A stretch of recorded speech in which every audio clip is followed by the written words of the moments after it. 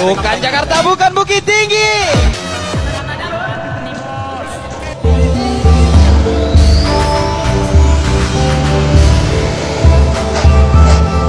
Kenapa anginnya belum masuk kah?